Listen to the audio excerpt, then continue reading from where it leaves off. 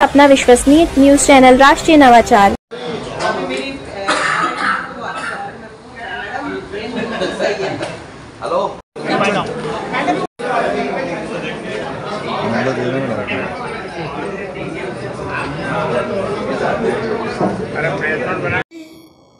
विश्व में भी भारत की धाक को जमाने का काम किया है।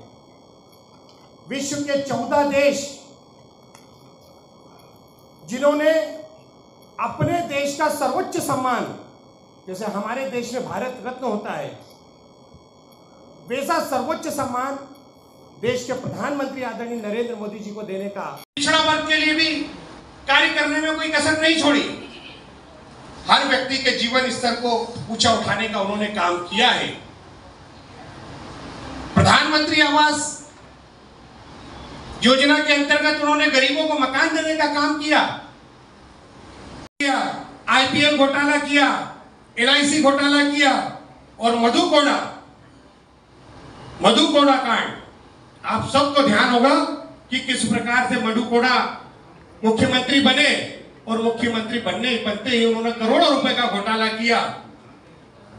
साथ ही सबरीन घोटाला, मंदिर कनेक्शन घोटाला, इस प्रकार के घोटालों की यदि एक फहरिस्त तैयार की जाए तो मैं यहाँ पर बैठकर पूरे दिन इन घोटालों को गिना सकता हूँ, मगर ये घोटाले की लाइन खत्म खत्म नहीं होगी। और यदि इन सारी घोटालों की राशि को जोड़ लिया जाए तो ये राशि लगभग 12 लाख करोड़ रुपए की राशि होती है, जो कांग्रेस ने अपने कार्यकाल में घोटाले करने का काम किया है।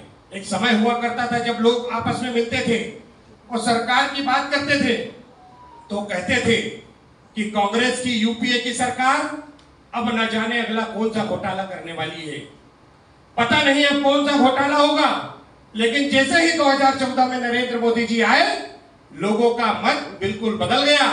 अब लोग जब आपस में मिलते हैं तो सरकार के बारे में बात करते हैं कि नरेंद्र मोदी जी ने राम मंदिर बना दिया, नरेंद्र मोदी जी ने धारा 370 हटा दी, नरेंद्र मोदी जी ने ट्रिपल तलाक के विरुद्ध कानून लेकर आए, नरेंद्र मोदी जी, पाकिस्तान अफ़गानिस्तान, बांग्लादेश में रहने वाले हमारे अल्पसंख्यक हिंदू भाइयों के लिए की नागरिकता के लिए कानून लेकर आए हैं। मोदी जी नित्य नए काम करते रहते हैं। अब देखना पड़ेगा कि मोदी जी और क्या नया करते हैं। पहले नए का घोटालों की चिंता की जाती थी कि नया घोटाला कौन सा आने वाला है। लेकिन अब लोग नरेंद्र मोदी जी के कार्यक्रम और नरेंद्र मोदी जी की योजनाओं का इंतज़ार करते हैं।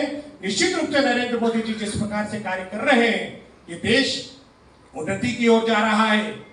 गाँव गरीब मजदूर किसान, अनुसूचित जाति, अनुसूचित जनजाति, अन्य पिछड़ा वर्ग, सभी लोगों के जीवन स्तर में जो बदलाव आया है, वो नरेंद्र मोदी जी की योजना के कारण आया है। बहुत बहुत धन्यवाद मुफ़्त में गैस कनेक्शन देने का काम किया। उनकी निगाह देश में चारों तरफ़ लगी रहती है कि किस तरह से इस देश का विकास किया जाए। अभी उन्होंने इस देश के रेलवे स्टेशन की जो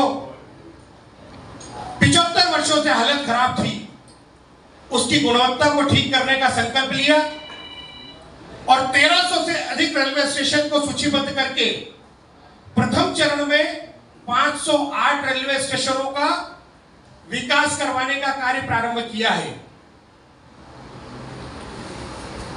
बॉस कह के संबोधित करते हैं? चरणों को छूकर उनका अभिवादन करते हैं। आज विश्व में जो भारत का मान सम्मान बढ़ा है उसमें नरेंद्र मोदी जी का मार्गदर्शन उनका नेतृत्व और उनकी कार्यशैली पूरी तरह से जिम्मेदार है। केंद्र सरकार की ओर से भी आपने कहीं ना कहीं बात रखी। क्या आपका कहना है इन बीस सालों को लेकर? भारतीय जनता पार्टी की जो 20 साल की सरकार है मध्य प्रदेश में उसका रिपोर्ट कार्ड पेश किया था। इसमें जो सबसे बड़ी और महत्वपूर्ण जो बात है वो ये है कि कांग्रेस के कार्यकाल में बजट पच्चीस हज़ार करोड़ का हुआ करता था। और भारतीय जनता पार्टी के शासन में वही बजट आज सवा तीन लाख करोड़ रुपए से अधिक का हो गया है।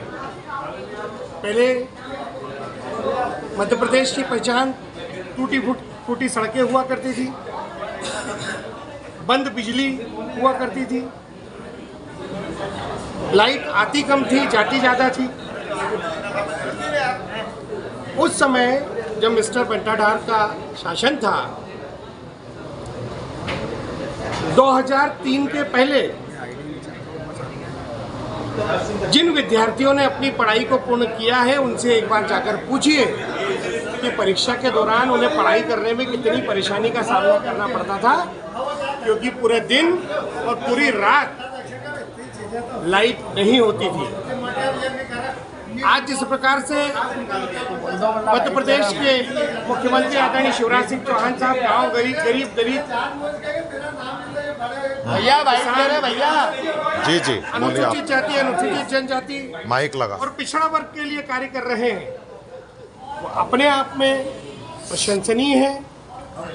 लाडली बहनाओं के लिए उन्होंने विचार किया। लाडली बहनाओं को एक हज़ार रुपये प्रति माह उनके खाते में डायरेक्ट डालने का काम शिवराज सिंह जी चौहान साहब ने किया।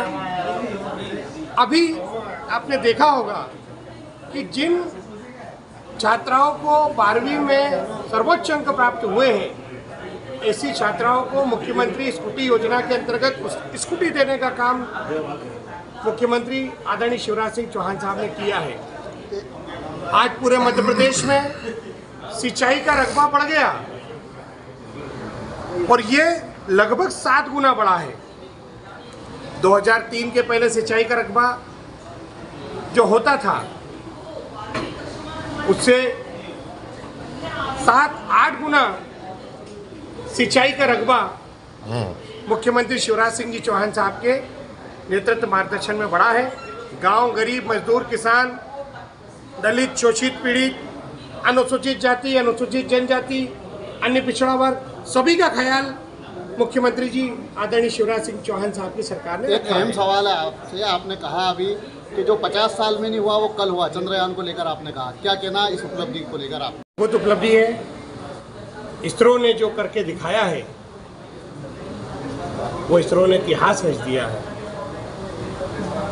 नरेंद्र मोदी जी का मार्गदर्शन नरेंद्र मोदी जी का नेतृत्व इस देश को चाँद तक लेकर गया है। और जिस प्रकार से चंद्रयान तीन की लैंडिंग चाँद पर सफलतापूर्वक हुई है, आज देश विश्व के उन चार देशों में शामिल हो गया है, जो चाँद तक पहुँचे हैं। नरेंद्र मोदी जी की उपलब्धि ये है कि उन्होंने गाँव गरीब मजदूर किसान दलित शोषित पीड़ित का तो ध्यान रखा ही है। साथ ही विज्ञान के क्षेत्र में और अंतरिक्ष के क्षेत्र में भी नरेंद्र मोदी जी के नेतृत्व में, उनके मार्गदर्शन में देश निरंतर विकास कर रहा है।